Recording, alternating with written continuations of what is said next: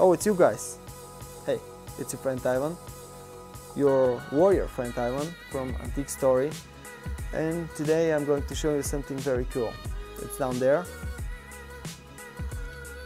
This sounds awkward, but we'll go along.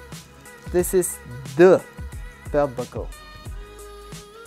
Very interesting piece. Let's get right into it. This is Balkan belt buckle from the Balkan region dating from 17th to 18th century. Actually, it's one of the first uh, belt buckles of this type. On the Balkans, it is called pafti.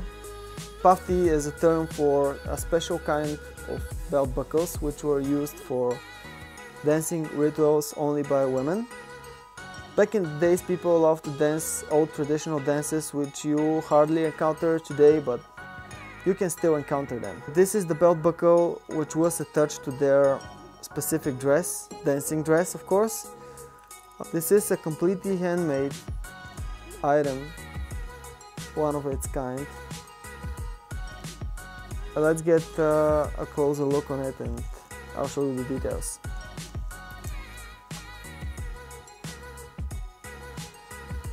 You can tell how old this item is by the material it was made of. The first, the early belt buckles were made out of brass and uh, later on as time progressed they started to use silver alloys. So this is one of the first belt buckles on the Balkans.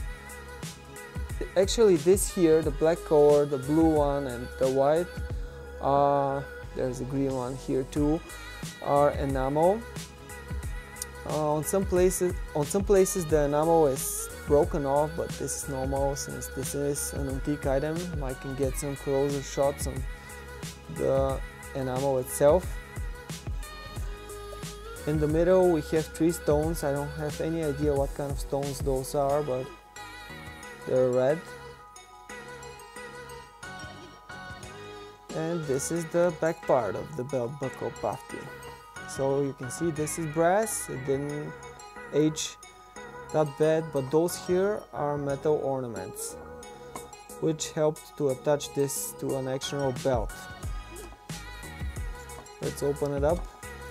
This pin here holds the pafti buckles.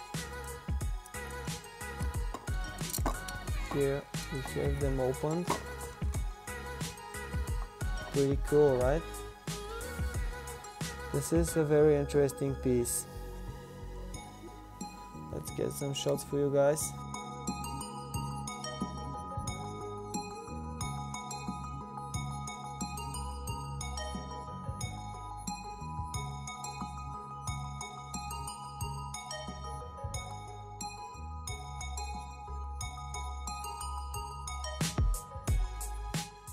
If you're a fan of uh, Balkan folk art, I'm sure that you found this video to be interesting. Subscribe to our YouTube channel for more and stay tuned since Antique Ivan is going to bring you the best and most interesting antiques in the fucking world. Without the fucking part, alright? See you around.